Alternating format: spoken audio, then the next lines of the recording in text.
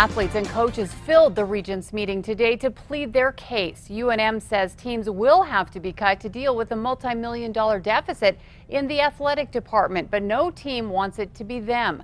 News 13's Rebecca Atkins is live at UNM with what people had to say. Rebecca. Anybody hear me? Played soccer from 91 to 94. I was a goalkeeper here at UNM, former player. One by one, former athletes, coaches, and members of the community came to speak this morning before the UNM Board of Regents. That's tough. The head coach for UNM men's soccer even got choked up at the thought his team could soon be gone. I'm, I'm embarrassed to be up here. That's how I feel. I'm embarrassed.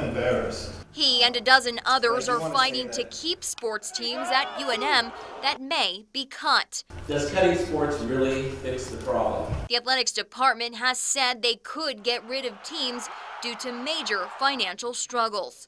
And that the inability to resolve the deficit has led us to this unfortunate position. Today, President Garnett Stokes and Athletics Director Eddie Nunez presented Regents with their athletics deficit plan to reduce sports by $1.9 million. The plan we're presenting is a realistic one that allows athletics to eliminate the recurring deficit and pay back a substantial portion of the accumulated deficit. With only one opposition, Regents approved the plan, but what teams will go? That is still up in the air. But at this point, there's no sports that are being cut. There's no decisions on a sport more than another sport. Is cutting sports an, an option? You know, again, at the end of the day, that's something that we're going to have to determine as a group.